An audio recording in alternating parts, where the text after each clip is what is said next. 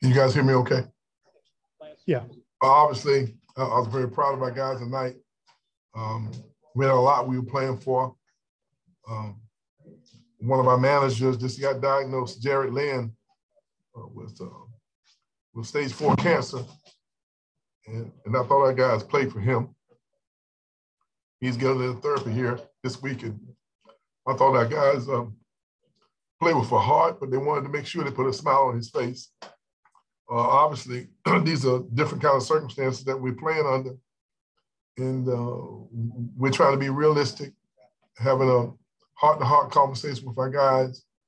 Uh, I thought that uh, on Saturday, that uh, mentally, um, I thought we will show signs of, of, being affected by all what's going on with the team.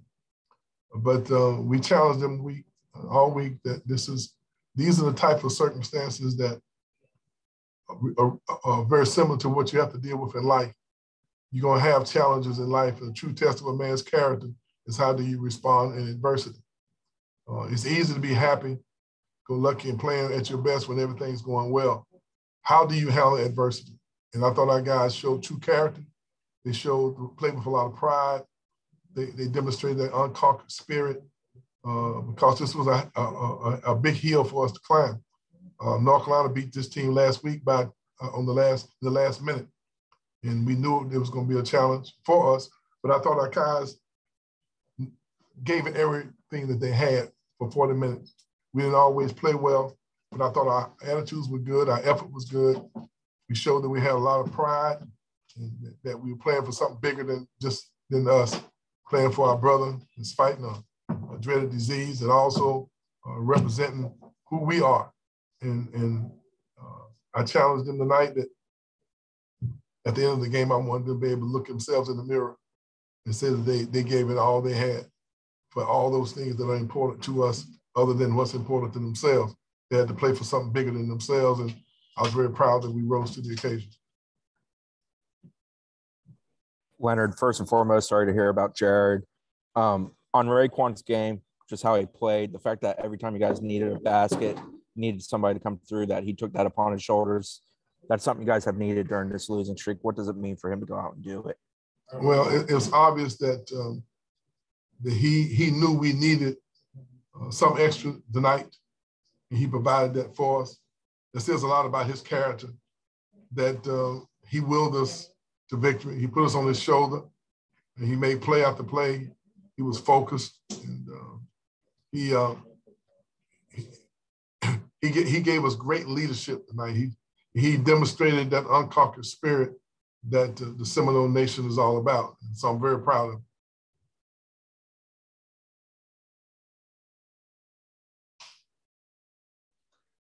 Leonard, hey, uh, coach. Oh, good. Go ahead. I was going to say, when did when did you guys find out um, uh, about the illness and and how how did the guys how were the guys able to you know focus through through something like that? It, it was it was challenging, no doubt about that. Uh, we talked to Jared. Jared went home. I think it was maybe Monday. Uh, he came in the office and told me that uh, that that they felt that he, he had the challenge. So he went to Cincinnati, where he's from, and uh, where they have an outstanding clinic there. And so they they got right on top of it. And uh, and uh, so looks like he's gonna start his therapy, I believe, on Thursday. I believe. So our prayers are with him. But but uh, that just demonstrated that you know that we we we kind of got. I thought we showed some signs on Saturday in Chapel Hill of being overwhelmed a little bit by all the the challenges that we are facing. And so um, this is a real good team. Uh, Clemson, North Carolina beat them, I think, in the last minute at their place last week. So this is not a a team you can take lightly. But we challenged them more mentally uh, about. Um, uh, I wanted them to, at the end of the game, be able to look themselves in the mirror and say that they gave it all they had, and and we, we challenged them that that this is what life is all about, and how they represented themselves and how they represented the team that they represent and the family atmosphere that we have. Uh, have said a lot about you know, what what type of leader of their families are they going to be down the road? We have to start growing and learning to overcome these types of challenges. And it's not easy. It's not easy when, you know, you seem like every week you got you're missing somebody, but you can't use it as an excuse. And sometimes you can use it as a crutch, you know, to, to make it easy for you maybe not to be successful. So all those things, I, I thought our guys displayed tonight: pride, uh, uh, uh determination, uh, the, a, a, lot of will. I thought we was connected. I thought we challenged each other. We held each other accountable uh, for each possession.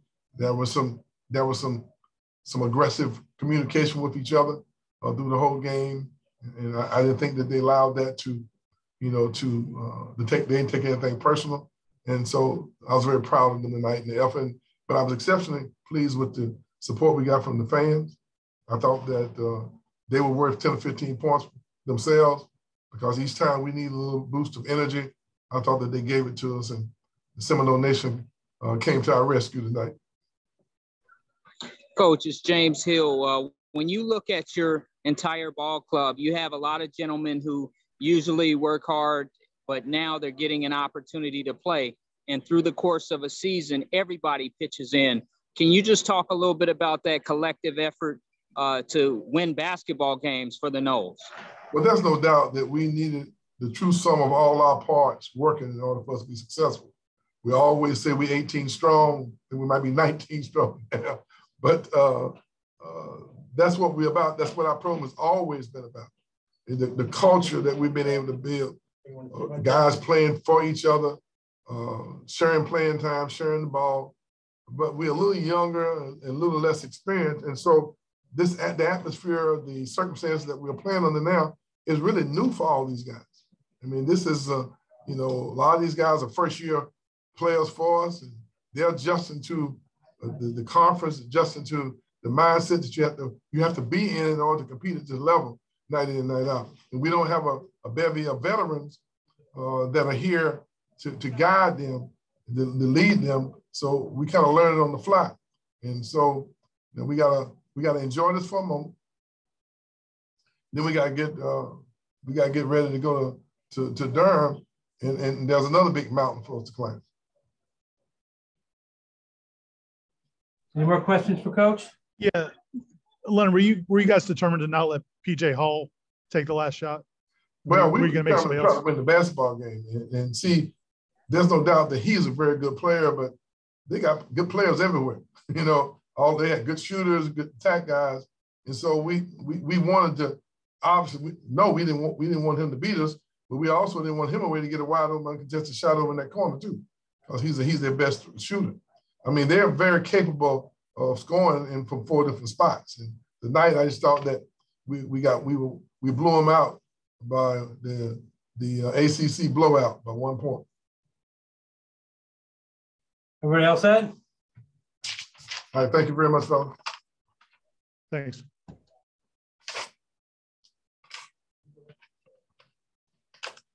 My man. Guys, we're going to bring in Ray Evans. Man, show a lot of character like my brother. Appreciate you, man.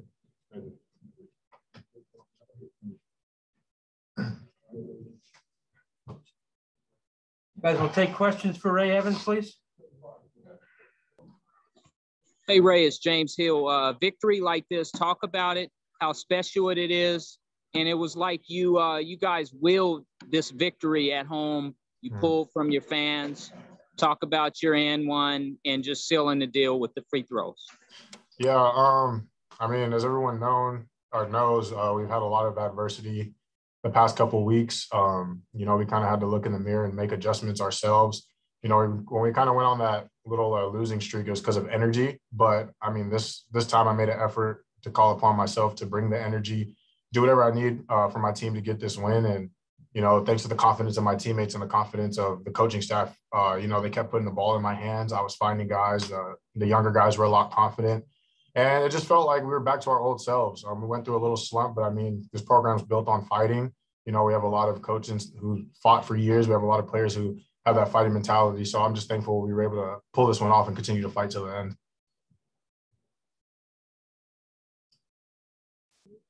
Ray, did um, Coach Ham was telling us about um, Jared's diagnosis. Um, does that kind of put things in perspective? Uh, how did how did the team kind of rally around that? Obviously, that tough news.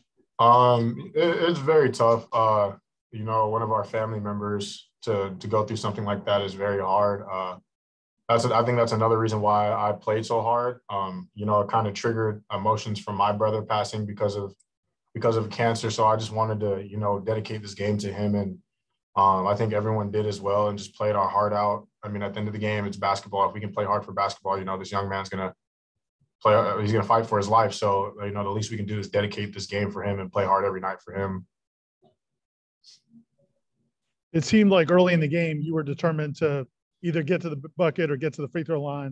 Mm-hmm. Was that because of the way they were defending you, or was that just your mindset in this game? Uh, it was a little bit of both. Um, you know, our strategy this this entire game plan was to go downhill. Um, you know, our offense was great. Um, they they do have a lot of good defenders, so you know we kind of had to make them work a little bit before we can attack those gaps. But I just felt uh, like we read the defense well. You know, a lot of the younger guys were getting downhill. Myself was getting downhill to make plays, and um, you know, credit to our coaching staff and the time that they put in and everybody involved with it to have a game plan like that. RayQuan is James Hill. Uh, there's a lot of basketball left.